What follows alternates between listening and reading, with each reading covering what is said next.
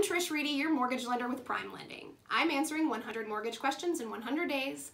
Today is day 59, and our question today is, what is the value of a trusted lender in a multiple offer situation? You know, in the market that we had this past spring and summer, when great houses were flying off the market like hotcakes in seconds, it's really important to have a pre-approval from a trusted lender.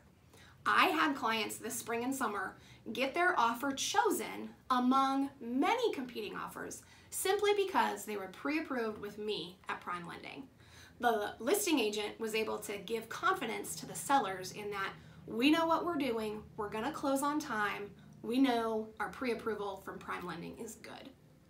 When we're in a crazy market that like that, having a pre-approval from a trusted lender locally here in town can be critical.